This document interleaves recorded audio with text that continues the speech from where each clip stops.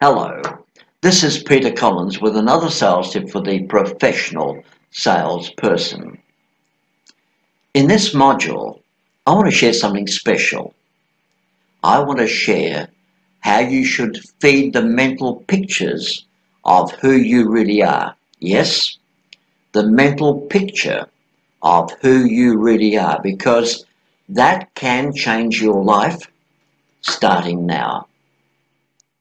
Yes, constantly feed the mental pictures of who you know you really are and do that in the present tense. Now, many people will teach you to constantly feed the mental pictures of who you'd like to really become. And that's a good thing.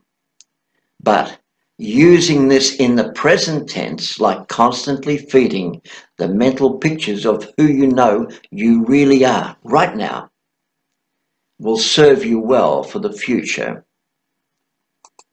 And you need to see yourself living the kind of life you know you want to live. You need to see yourself with the kind of relationships you know you want to have. You want to see yourself with the kind of health you want to be in. And a couple of favourites of mine. You need to see yourself with the kind of car you want to drive. And most importantly, you need to see yourself with the kind of home you've been dreaming of for so long. But while you see yourself having it in the present, it no longer stays a dream. It starts to manifest as a reality in your subconscious. And the more and the more often you do this, the closer your reality comes to fruition no matter what you keep on believing for. So remember to visualize every one of the points that you really want to achieve before you fall asleep. Yes, before you fall asleep, because your subconscious mind is far more open to thought at that particular time than most other times. And you do the same first thing in the morning. And again, because your mind is far more open at the subconscious level than at other times. And then to reinforce that point, just remind yourself with the same mental picture of what you are at the time, many times during the day.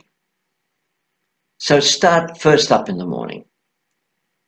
Do it again late morning or mid morning.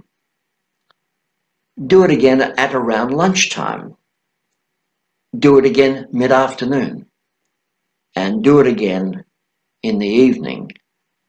And the next day, repeat the same process over and over again.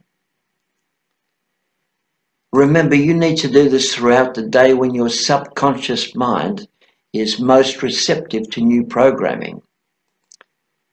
The last thing at night, and when you wake up in the morning are usually the times when you are the most receptive. And you keep on doing it during the day, just taking a few minutes of time, close your eyes and visualize who you are and what you've become. And the more you do it, the more you reinforce your subconscious.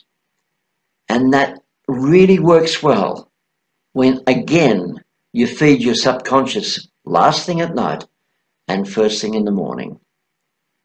And I want to add one more thing to what I've just shared with you. Always put a time limit to it.